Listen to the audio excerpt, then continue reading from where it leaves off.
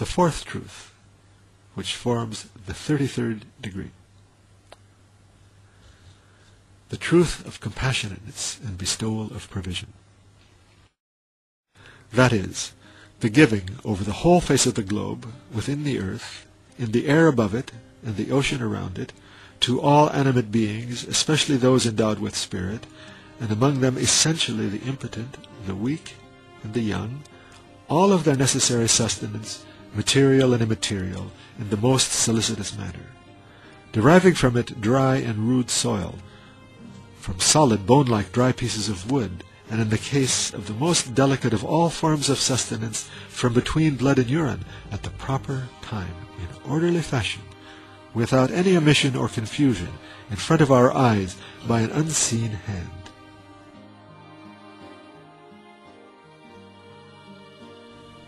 Yes, the verse, God is the provider, the firm possessor of strength, restricts to God the task of sustaining and providing. And the verse, there is no moving thing on earth but depends on God for its sustenance. He knows its resting place and storage place. All is in a book perspicacious.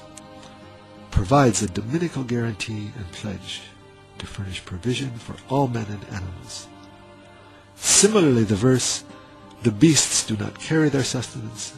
God sustains them and you, and he is all-hearing, all-knowing establishes and proclaims that it is God who guarantees and provides for all impotent, powerless, weak, and wretched creatures that are unable to secure their own sustenance in an unexpected fashion. Indeed, from the unseen, even out of nothing. It is he, for example, who provides for insects on the ocean bed and their young.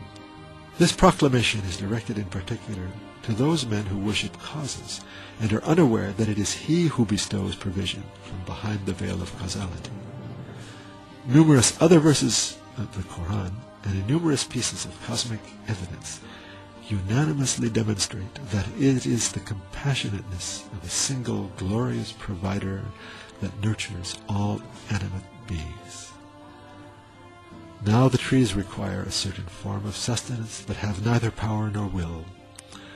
They remain therefore in their places, trusting in God, and their provision comes hastening to them. So too the sustenance of infants flows to their mouths from wondrous small pumps, aided by the solicitude and tenderness of their mothers. Then, when the infants acquire a little power and will, the milk ceases. These various instances clearly prove that licit sustenance is not proportionate to will and power, but comes in relation to weakness and impotence, which induce trust in God.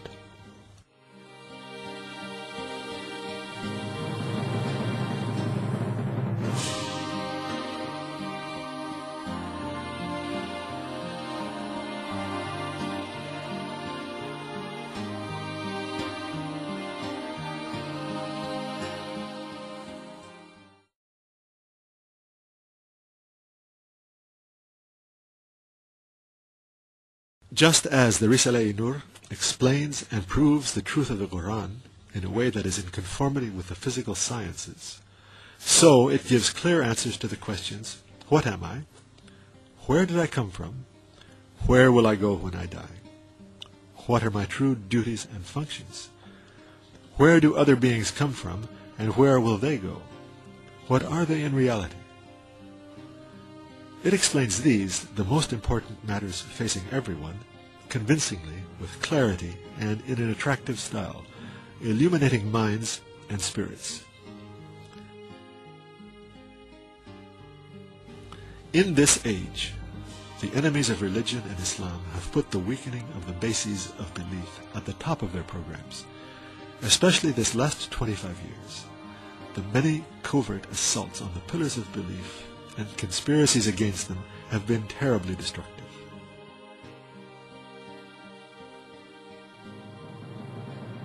Doubt or denial concerning even one of the pillars of belief is very often more damaging than indifference toward the finer points of religion. This is why what takes priority at the present time is to transform belief by imitation into certain affirmative belief. By another name, belief by investigation. What is important now is to strengthen and to save belief. It has become absolutely essential to concentrate on the bases of belief. This is the most pressing need in the Islamic world today. What is the use of trying to restore and decorate the rooms of a building with collapsed foundations? Can a tree with rotten roots be revived by spraying its branches and leaves? The human being resembles a palace, the foundations of which are the pillars of belief. He resembles a tree whose roots are the principles of belief. The most important of the pillars of belief is belief in God Almighty, then belief in prophethood, and the resurrection of the dead. This is why the knowledge people should strive most to acquire is knowledge about belief. Knowledge about the matters of belief is the highest sort of knowledge. Belief does not consist of a brief assent. It comprises numerous degrees. Belief by imitation may be easily overcome by the raging currents of misguidance of the present day whereas certain affirmative belief is unshakable and inextinguishable. The person who attains to such belief will be steadfast and unwavering even in the most violent storms. The most fanatically atheistic philosopher even will not be able to cause him doubts.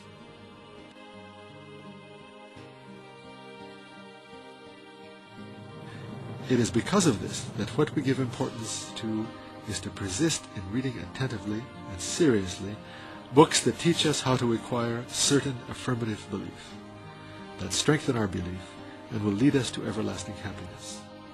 Otherwise, the calamitous maelstroms of the present will undoubtedly drag us down into the depths. Our only salvation is to cling to the commentary that expounds the verses of the Quran, which are about belief, and look to the present age.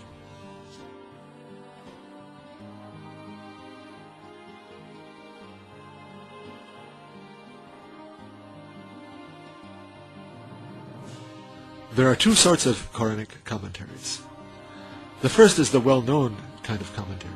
Commentaries of this sort expound and elucidate the Quran's phraseology, words, and sentences. The second sort explains, proves, and elucidates with powerful arguments the Quran's truths related to belief. This sort has great importance. Sometimes the well-known literal commentaries include this sort in summary fashion, but the Risale-i-Nur has made it its basis directly and is a commentary on the Quran's meanings which silences obstinate philosophers in an unprecedented manner.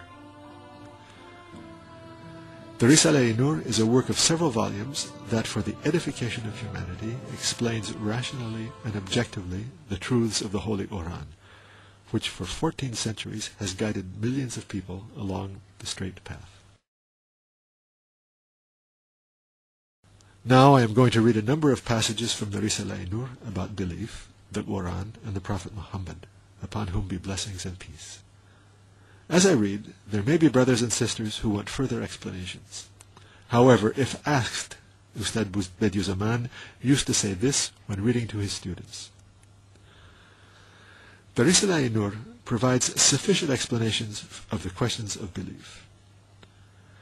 The Risale Nur's teacher is the Risale Nur itself. It doesn't require other teachers. Each person can benefit from it in accordance with his capacity.